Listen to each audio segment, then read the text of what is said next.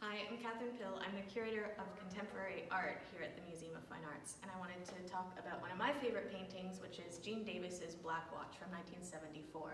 I love it because I think it's a really good way to sort of enter into some of the ideas of abstraction.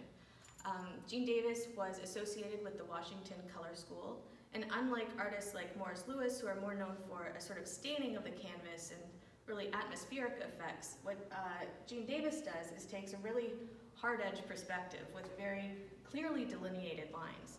And what he suggests for viewers to do is to actually pick a color and sort of see how he disperses it across the canvas.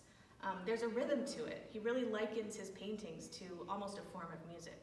So if you start with, let's say, we'll take a pause and then start with this yellow line. See how it starts doubling, tripling, and then slows down with one more. It's kind of fun to think about this as actually maybe a piece of music, and it reminds us that you can actually use so many of your senses when you're viewing a painting.